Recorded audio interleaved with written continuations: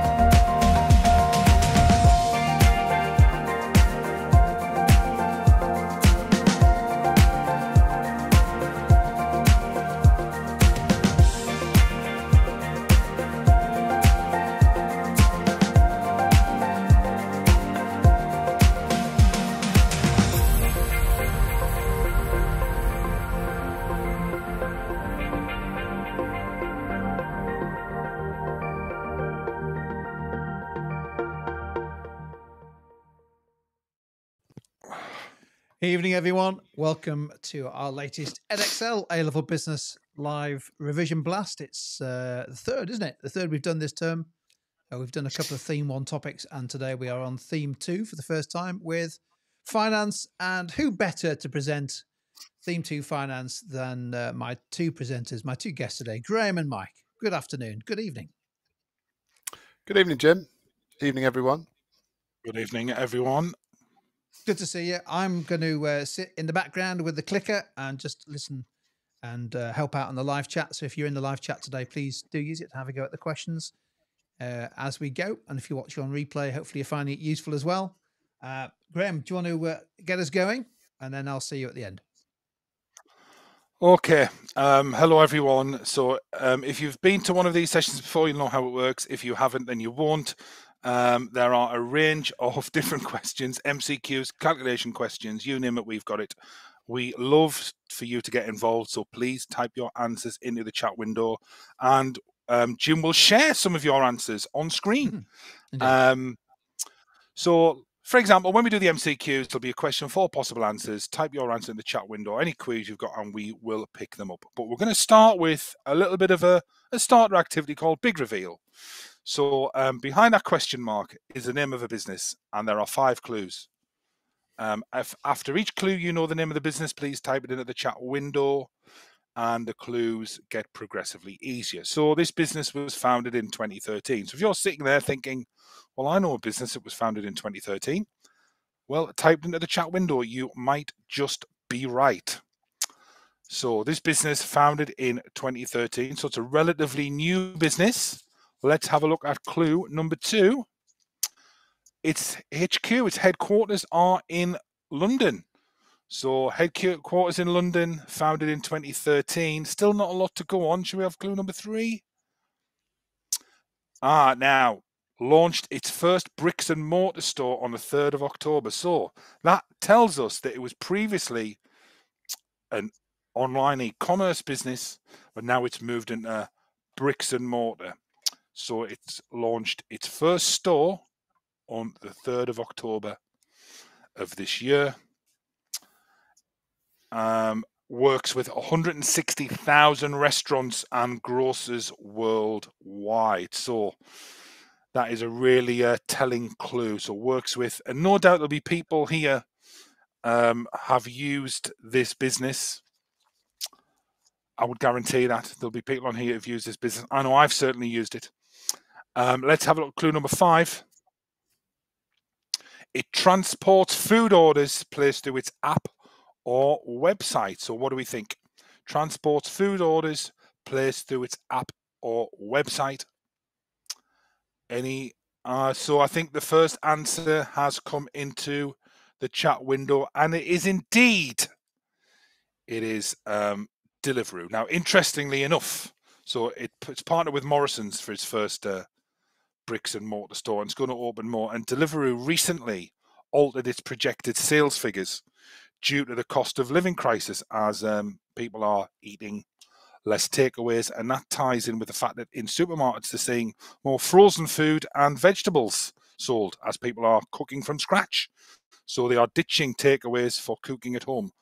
Um, how will that impact on Deliveroo? How will they respond? Well, we will find out, no doubt. Okay, then, Jim, let's move on to the MCQs. So you've got a question there and four possible answers. Type the corresponding letter into the chat window. So the formula to calculate contribution per unit is, is it A, is it B, is it C, or is it D? So the formula to calculate contribution per unit. Remember, we need contribution per unit to calculate break even.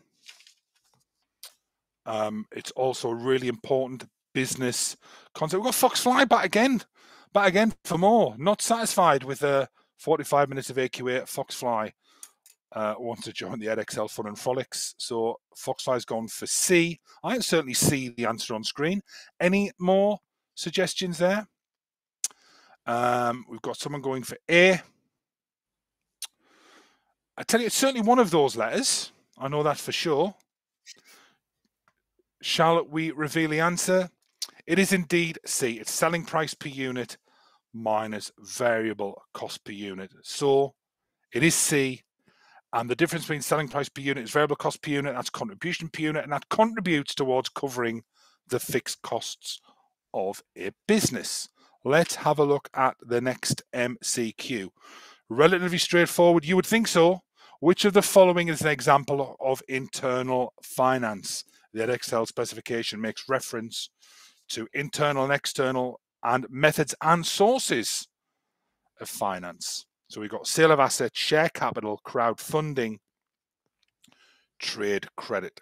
There is a whole list of different methods and sources of finance uh, on the Edexcel A level business specification, which you need to be competent in applying them perhaps to different scenarios. So um, the majority seem to be going for sale of assets as opposed to share capital, crowdfunding, and trade credit. Let's reveal the answer. And it is indeed selling assets is a method of internal finance. Well done, everyone. Let's have a look at the next MCQ. So we've got a business with a current ratio of 1.6 to 1. The current liabilities of the business are 200,000. What are the current assets? So this is a slightly tricky question because you have to know the, the formula for the current ratio.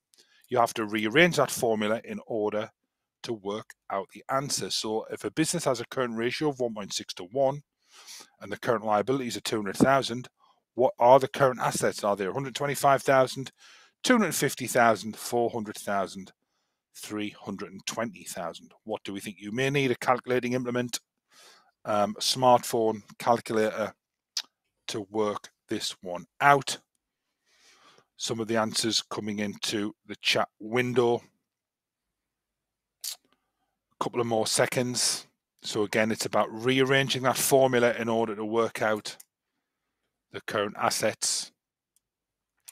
and first of all, you need to know what the current formula, sorry, the current ratio formula is. So I think we've got a lot of correct answers coming through.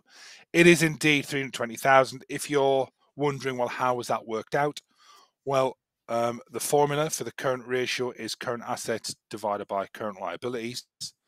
So if you know the current liabilities are 200,000, rather than dividing, we multiply 200,000 multiplied by 1.6 gives us current assets of 320,000. And we can check that by the by calculating 320,000 divided by 200,000, which of course gives us 1.6. Remember, it's a ratio, a liquidity ratio. We express it to 1, 1.6 to 1. I think we've got another MCQ, Jim. I believe. I think we've got one more. We have.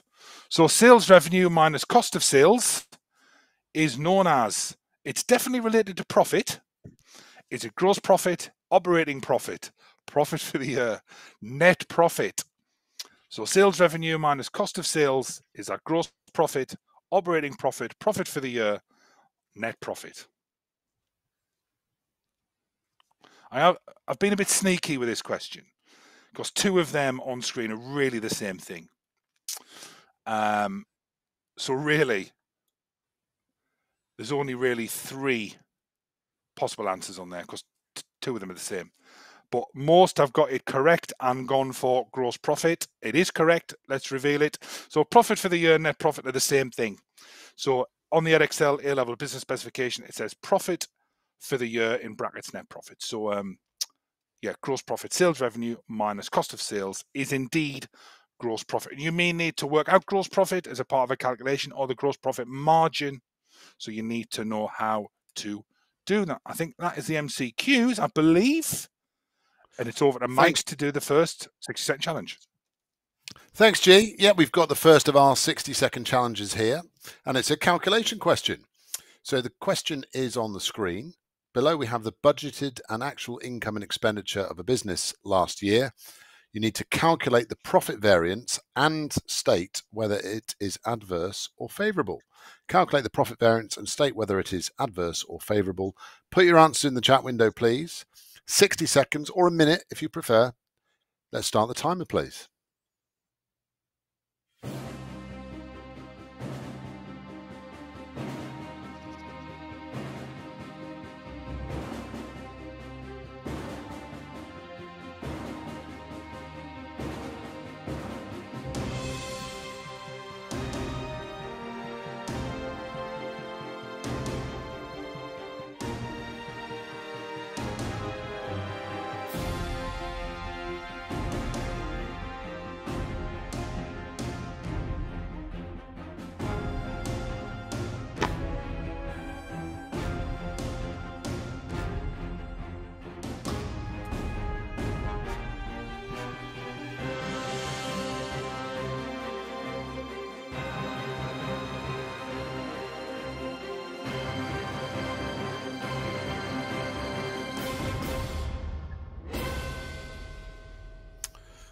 There we go.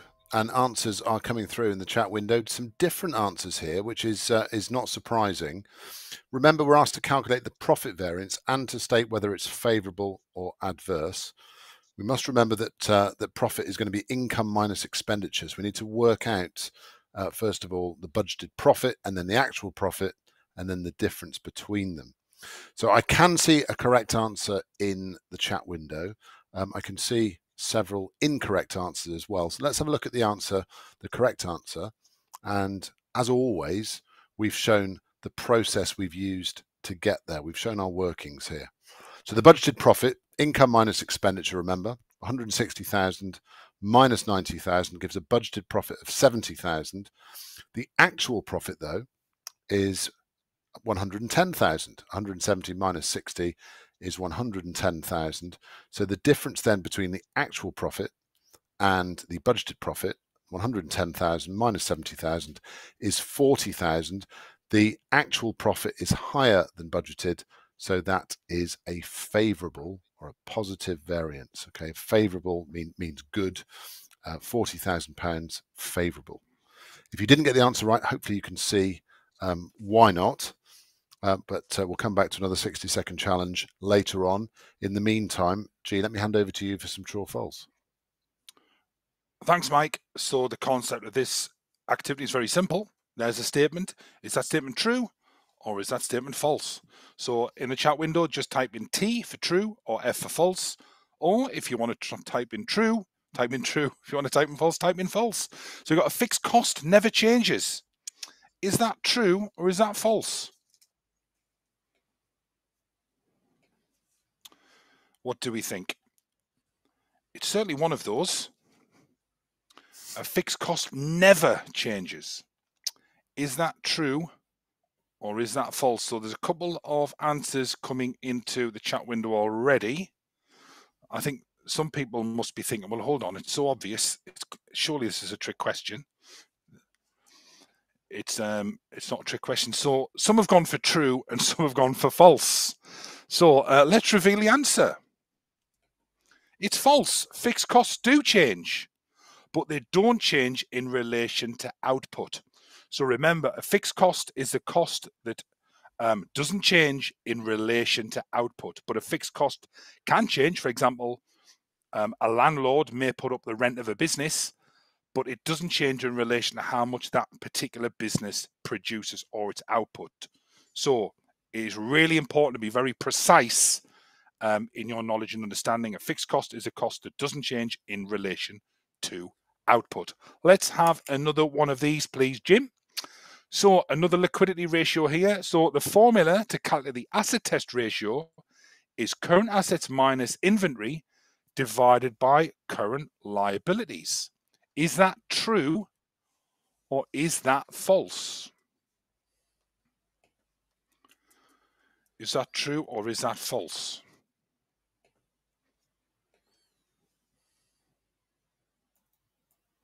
Couple of more seconds. Um, seeing some answers coming in to the chat window. I think the majority are going for true.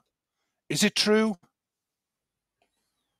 It is indeed true. Now, often, um, a lot, some students, and yeah, it's a minority, but some express that as a percentage. So dividing the current assets minus inventory and then sorry, dividing dividing current assets minus inventory by current liabilities and multiplying it by hundred to express it as a percentage. It's not a percentage; it's a ratio. It needs to be expressed to one. So that is indeed true. Um, I believe is there one more of these, Jim? So a current ratio of two to one means that for every two pound of current liabilities, the business has one pound of current assets.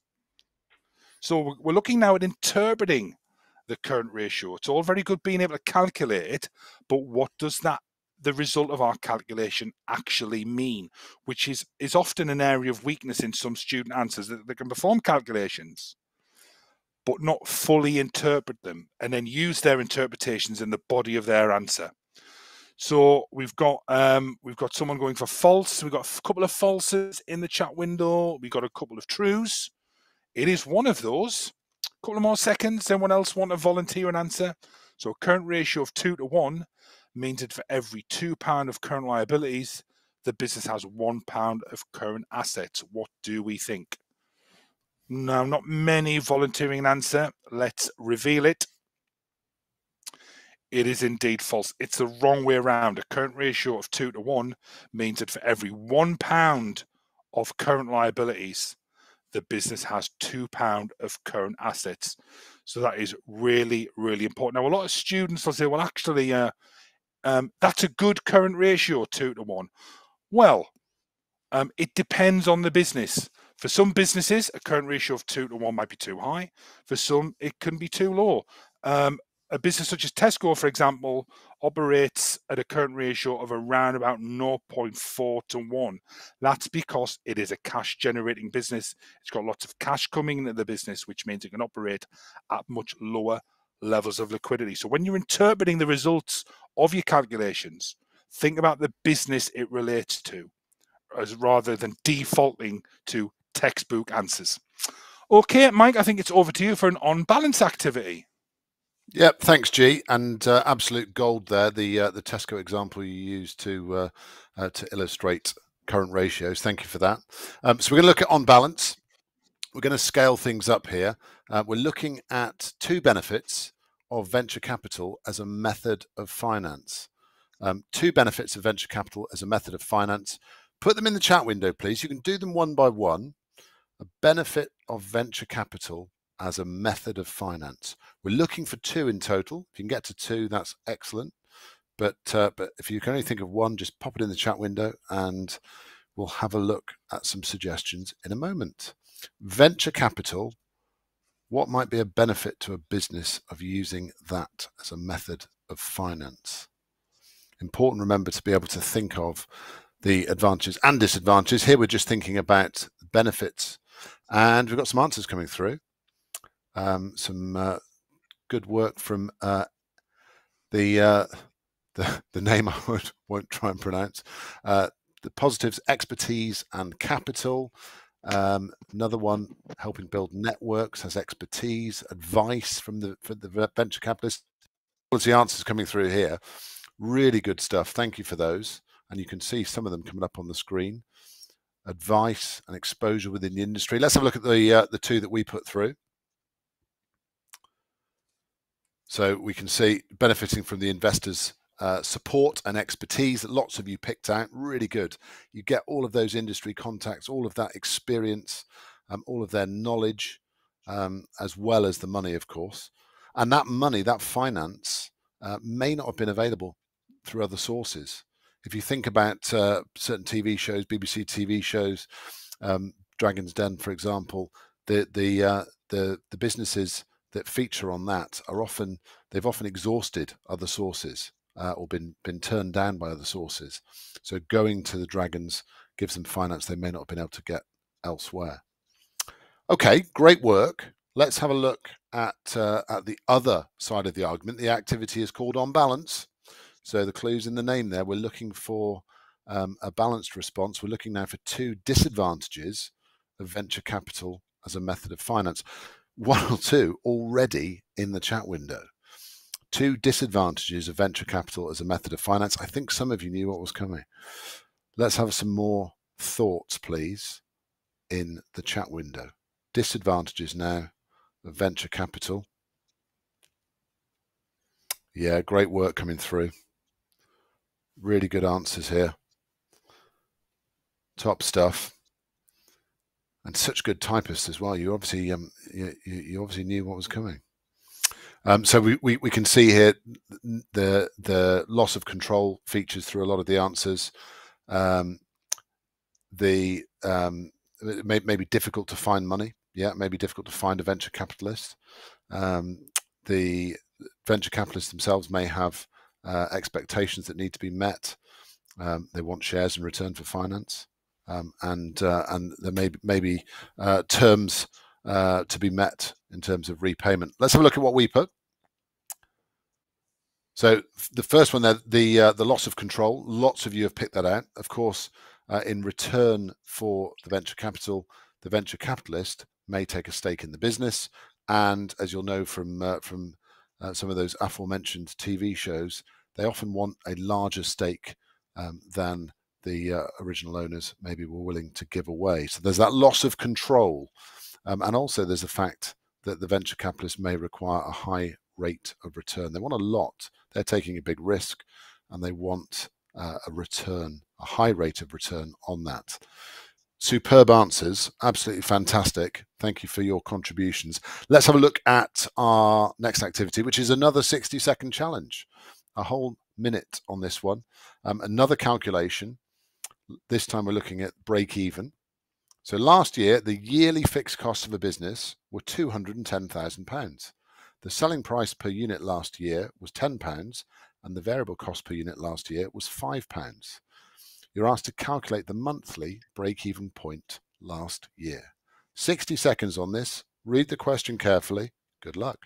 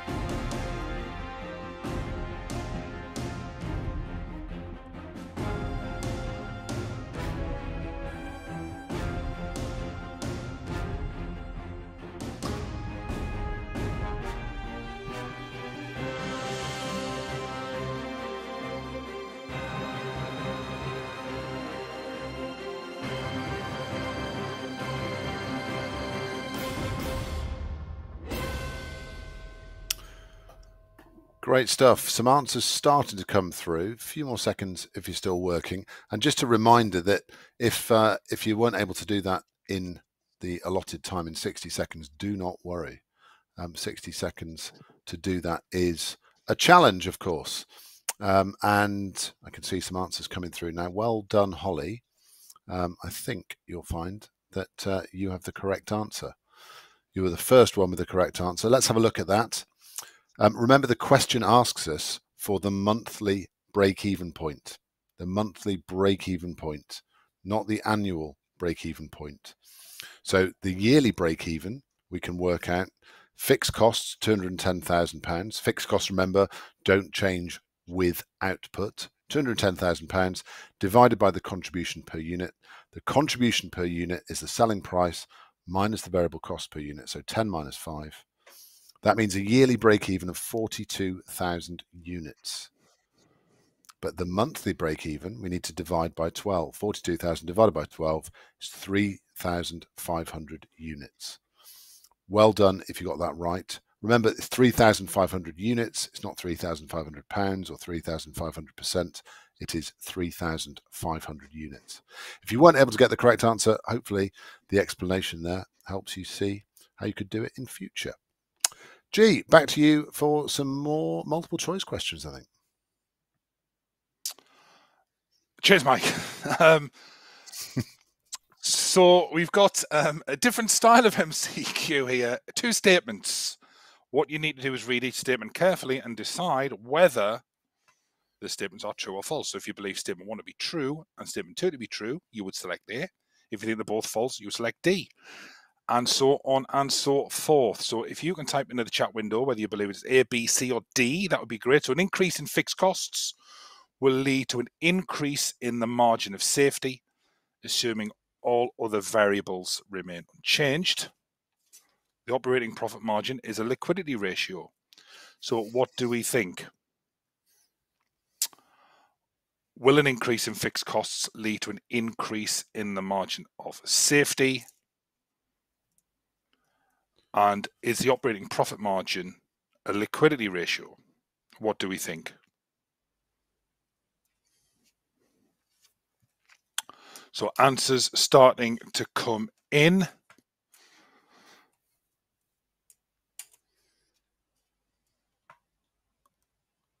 So we've got um, we've got a couple of A's, a couple of C's. We've got a D now think we just need a B now for the full set. it's definitely one of those. What do we think anymore for anymore? There's lots of people joining live. And there's only three or four answers in the chat window. Remember, MCQs do not form part of the Edexcel A level business assessment. You'll want to get an MCQ in your exams, but it's just an easy way and a nice way of covering lots of different content in these sessions. So um, let's reveal the answer. Well, an increase in fixed costs um, will not lead to an increase in the margin of safety because it will increase the break even point and therefore lower the margin of safety. Remember our break even formula fixed cost divided by contribution per unit. So if you increase fixed costs, it's going to cover, and you know, um, business needs to sell more to cover those fixed costs, so break even will increase. Um, margin safety will fall. And operating profit margin, you know, the name is in the word profit it is a profitability ratio, not a liquidity ratio. So your key liquidity ratios are your acid test ratio and your current ratio. So the answer to that was D. Um, I do believe, I think we've got one more of these. Um, so we've got historical budgeting is where the budget is based on past financial figures. A favorable cost variance occurs when budgeted fixed costs are lower than actual fixed costs. So we've got two budgeting related questions. We've got historical budgeting, um, which is examined this year. Um, remember, the other type of budgeting uh, you need to be familiar with is zero um, budgeting. And then we've got a favorable cost variance occurs when budgeted fixed costs are lower than actual fixed costs. What do we think is that? Um, a, B, C, or D?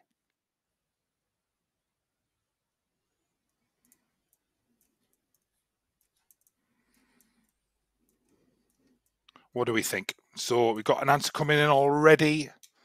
Um, Andrea um, believes it's B. Amy believes it's A. Um, what do we think? It's a tricky one. That we need to read them um, really, really carefully. What do we think? They are tricky. You know, read these really, really carefully. Let's reveal the answer. And the answer is B. So statement one is true. Historical budgeting is where the budget is based on past financial figures. So uh, we could have picked up on the word historical um, being in the past and worked that one out. The statement two is slightly more trickier. If we re- if, if we sort of rephrase that, what we're saying is that actual fixed costs are actually higher than budgeted fixed costs. So if actual costs are higher than budget, then that would be an adverse variance. So that was just worded in a slightly different way. But if you re-look at that, it's basically saying that actual fixed costs are higher than budget. So if actual costs are higher than budget, that's going to be an adverse variance as opposed to favorable. Mike, I think it's over to you for Give Me Three. It is indeed, G. Thanks so much. Um, we're looking for three factors affecting sales forecasts. Please put your answers in the chat window. You don't have to do all three at once. You can do them individually. Here we go. Here's the timer.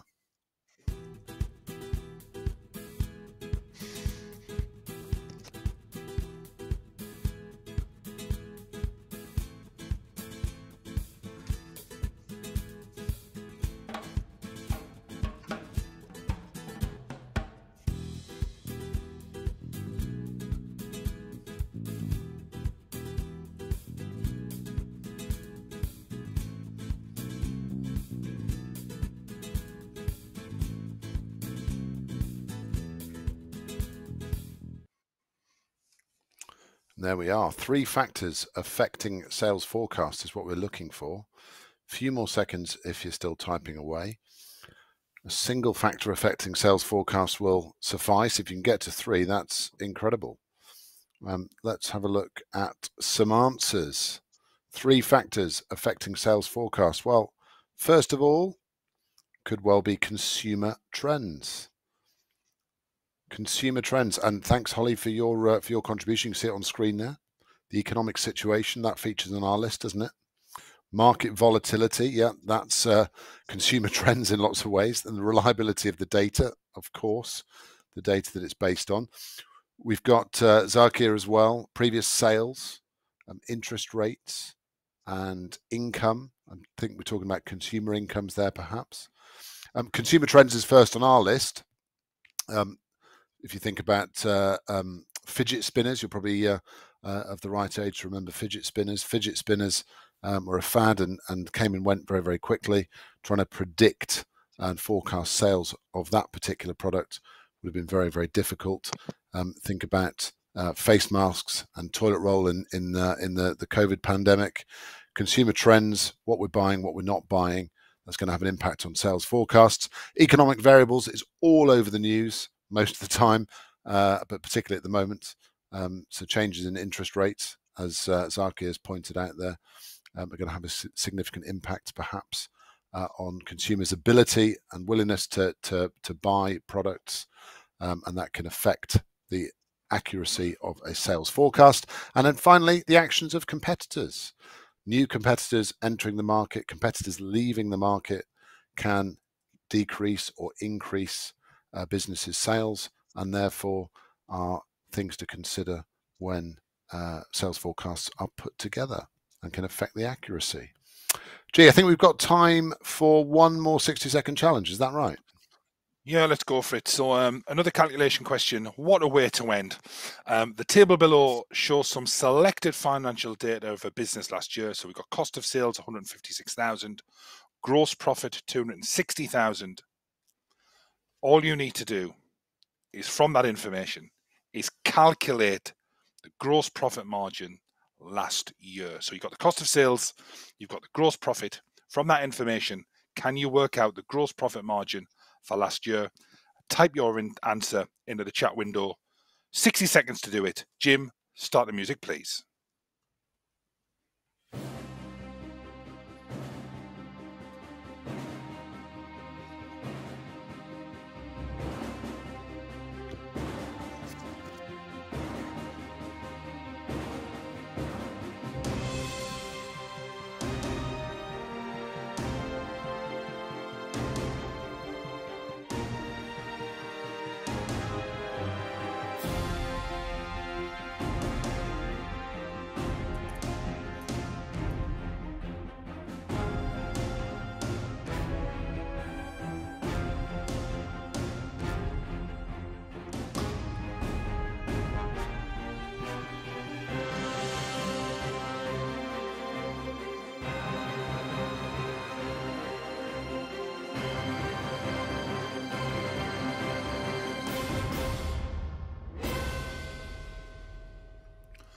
So I'll give everyone a few more seconds um, to maybe type an answer into the chat window, and just um, I'll just talk generically around this question. So um, first and foremost, um, we should know that the gross profit margin, the formula for the gross profit margin, is um, gross profit divided by sales revenue multiplied by 100. Well, of course, we weren't given the sales revenue figure, but you can work it out from that. If you were presented with a question like that in an exam, and you thought, you know what, I don't, I don't know where to start with that. I don't know, I don't know, I don't know how to work that out, but I do know what the gross profit margin is. Then write the formula down, because you'll get some, you'll get a mark for the formula for showing some knowledge and understanding. This is why it is so important, as Mike said earlier, to show your working, show your process, and that way you're going to get some marks. So if you if you couldn't work that out, work the formula out. So we got we've got one answer in the chat window. Um, I need to be honest, it's not correct. But if you showed you're working out, and there was some in that working out, there was some evidence of understanding, you can attract some marks for that. So let's reveal the answer because that is a tricky question. So we know that gross profit is sales revenue minus cost of sales. Therefore, we can reverse that and find our sales revenue by simply adding cost of sales and gross profit together. It is so important that you know your formulas inside out and you can manipulate and rearrange those formulas um, as seen in this question. So, gross profit is sales revenue minus cost of sales. Therefore, sales revenue is cost of sales plus gross profit. So, we add those two together gives us our sales revenue of 416,000. So you can work that out again. If the sales revenue is 416,000 and we deduct our cost of sales, that will give you the gross profit of 260,000. And then we work out our gross profit margin 260,000 divided by 416,000 multiplied by 100 gives us a gross profit margin of 62 0.5%. Well, what does that figure mean? Well, it means for every one pound of sales revenue, the business is making 62.5p gross profit. Is that good? Well, we don't know. We would need to compare that with other businesses, maybe in a similar industry, and maybe compare it with the gross profit margin from the previous year to ascertain any trends. We should never take the figures in isolation. And I think that concludes today's live uh, live revision blast. yeah, that's what it is, G. It's a live revision blast. I got, I, I got confused there. that was a tough question, wasn't it, at the end? Uh, did you get it, it right, was, Mike? It was, I, uh, I struggled on that one. I, I did manage to get it right. Yeah, I'm I'm I'm very proud of myself. Yeah, Tough yeah, yeah. It is it is it is a tricky one, but it's it's just about knowing the formula. If you knew the formula for gross profit margin, then you can work it out. And it's just looking at the different way questions can be presented, manipulating formulas. As we've seen, quantitative skills and numerical concepts are absolutely crucial. But you know, don't worry if you couldn't work it out. You can watch this again on replay, go back through it, and um, and we've picked something up there that you can take forward as part of your revision strategy. Make sure you're on top of all your formulas and you can manipulate the formulas if you need to do so. Some great answers though tonight, Oh yeah, particularly the stuff on venture capital with Mike's on balance activity. Um, yeah, some some high quality answers coming through there, and and so quick as well. Very impressive. It's worth mentioning that if you want a little bit extra calculation practice, if you follow tutor2u Business on uh, Instagram, uh, Graham and the team are sticking uh, regular, I think it's daily, really, daily uh, practice questions. Sometimes it's a calculation, sometimes it's a it's a different question. So there's lots of revision opportunities there. If you fancy something a little bit different, maybe whilst you're perusing the gram, as they say, G. So uh, well worth doing that, isn't it? Definitely, yeah. We're putting some videos on there, some topic videos and business in the news videos. So um, well worth following tutor2u Business for um, for exam advice, questions, and business news that you can use. So I think we're taking a break on before half term next week, and I think we're off? back. Yeah. Yeah. Then I think we're back. Um, what's well, not a week off, is it for us, Jim? Because we'll we'll spend spending all week putting this session together. Um, and I think the next one will be the remainder of theme two. I think we're going to do resource management and external influences and yeah. operations and external influences in effect. Yeah. Brilliant. Look forward to that. Mike, Graham, thanks for guiding us through that uh, that live session. If you found it useful, give it a like, a thumbs up on YouTube, Uh, and uh, if you want to provide us with some feedback or some comments on particular questions or topics that you'd like some extra sessions on, stick them in the comments section. Once this uh, video is finished, they'll be there for you to, uh, to to comment and provide your feedback. And as always, we hopefully we look forward to you joining us at our next live session two weeks tonight. It'll be uh, five thirty on a Tuesday, and uh, hopefully, if you're on half term, hope you're enjoying it. If you're about to have half term, uh, put your feet up, do a bit of study, but more importantly, give yourself some time to uh, to recharge the batteries before we join again, before we meet again. So, from all three of us, see you later.